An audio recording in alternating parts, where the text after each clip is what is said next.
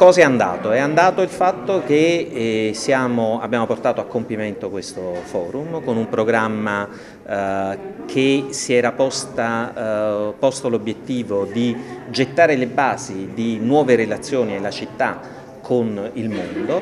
Naturalmente questo è un punto di arrivo relativamente al programma del forum, è un punto di partenza per la città che adesso la città dovrà saper eh, sfruttare al meglio e sono convinto che lo farà. Cosa non è andato? Beh, non è andato lavorare con questi tempi non è andato a lavorare con un programma da fare praticamente giorno per giorno e quindi con una difficoltà obiettiva anche a riuscire a comunicarlo efficacemente e con il tempo giusto e necessario. Non è andato sinceramente, devo dire, il, anche molto spesso il rapporto con la stampa che è stato appunto molto viziato da un pregiudizio nei confronti del forum, mai nei miei confronti ma nei confronti del forum. Il Forum Universale delle Culture di Napoli stamattina in conferenza stampa al PAN ha fornito le cifre della manifestazione, dai 223 giorni della durata alle 63 nazioni di provenienza dei quasi 3.000 protagonisti, per un budget di oltre 10 milioni di euro che ha consentito di realizzare 144 progetti ed 888 attività in 123 luoghi della città.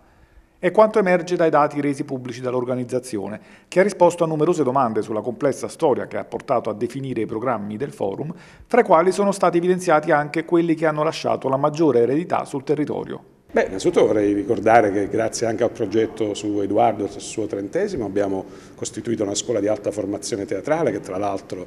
eh, grazie alla sua generosità adesso abbiamo sotto la direzione di Luca De Filippo. Eh, il lavoro che abbiamo fatto per esempio su Caruso, l'impegno ad acquisirne la casa, di eh, mettere in atto poi delle attività legate a, a questo nome straordinario tutto il lavoro che abbiamo fatto per recuperare tanti importanti luoghi, monumenti, penso al teatro di Forcella e ai dialoghi sulle mafie, il teatro di Forcella dove c'è Gianni Durante, il papà di Annalisa, che adesso è luogo di un grande progetto che riguarda la formazione teatrale dei ragazzi a rischio, insomma potrei fare altri esempi, questi, appunto, questi cento fiori, questi tanti semi gettati, noi speriamo che possano fiorire, arricchire la vita culturale e migliorare la qualità della vita civile di Napoli. Se mi si chiede eh, un bilancio, io penso che il bilancio del forum sia non solo positivo, io personalmente sono soddisfatto, ritengo che questa sia appunto una buona pratica perché si è fatto un lavoro molto incentrato sul territorio e sulle relazioni che questo territorio poteva